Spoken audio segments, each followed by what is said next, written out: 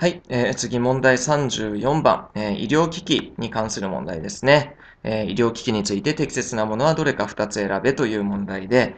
えー、1番、パルスオキシメーターは、えー、静脈血中の酸素分圧を測定するとありますけども、パルスオキシメーター。えー、これは、おっと、ごめんな、違う。キシメーターは、えー、まず動脈血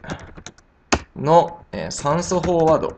を測るものですね。動脈血の酸素飽和度を測るやつですよということになりますので、あの指先にこうつけてるやつですよね。えー、見たことあるかなと思うんですけど、病院なんかでも。えー、その動脈血の酸素飽和度を測るものなので、静脈血中の酸素分圧を測定するという静脈、これ違いますね。なので、×だということになります。まあ、パルスオキシメーターときたら、動脈血酸素飽和度というところがイコールで、出てくるといいかなと。ちなみに動脈血を測るときは何かといったら、拍動ですね。えー、脈拍ですね。脈拍。脈の動きによってこの動脈血というのを測ります。そして酸素飽和度というのは光の透過度によって、えー、測あの測るというのがありますので、えこれも一緒に頭に入れておくといいですね。えー、つまりは脈拍で測るわけですから、まあ、あの末梢ですね。手の、手の先の、え、脈の動きが弱い。つまりは血流が、え、極度に弱まってたりとか、極度に血圧が低かったりとかですね。そういったような場合、また人工のその、え、呼吸器とかを使ってて、えー、る場合とかですね。要はその脈に、え、異常がある場合というのは正しく測れないと。または濃いマニキュアとか塗ってる場合とかっていうのも光の透過度というのが、えきちんと測定できないので、これもきちんと、え検査値が測れないという、そういったことがありますね。えちょっとこれはセットでキーワードを覚えておくといいですよ。で、その次2番、えホルター心電図、過去24時間心電図を装着した場合は安静を保つとありますけども、これは×ですね。えー、まあ、何のために安静を保った時の、あのー、測るだけだったら何のために24時間もやるのかってことですけども、えー、安静の時も、まあ、体を動かしている時も寝ている時も、まあ、その24時間の普通の状態ですね、えー、普段の状態で、えの、えその心臓の動きというのを見るためにこの24時間心電図、ま、つまりはホルター心電図というのはあるわけですからずっと安静にしてたら意味がないですね。なのでこれは×ということになります。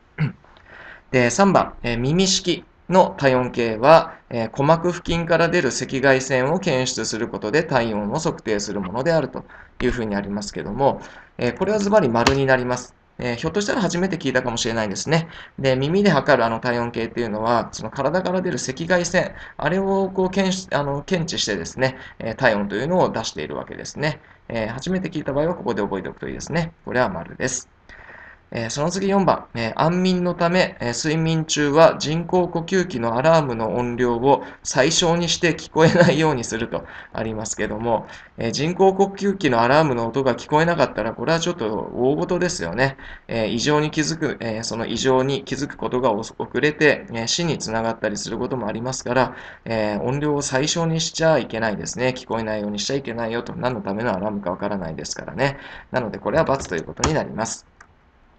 え最後5番、え気管切開をしている場合でも、スピーチ加入例の使用により、え発生は可能であるというふうにありますけども、えー、これは、まあ、スピーチ加入例というものがどういうものかわからなくてもですね、まあ、スピーチというのはこれ話すということですから、まあ、スピーチ加入例を使用したらきっと発生は可能なんだろうなということはなんとなく予想つくと思うんですけど、まあ、これはまあその通り丸ということになりますね。まあ、気管切開をしていて、気管あの加入例とかっていうのをやってる場合、その声帯と言われる声が出る場所ですね、声帯というところに、えー、声帯、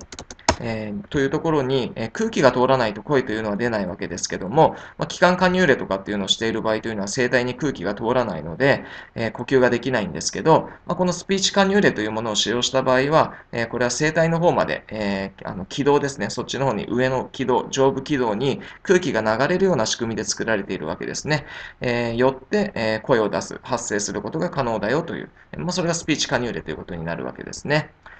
えー、よって、えー、34の正解は3番と5番の2つということになりますね。えー、解説は以上になります。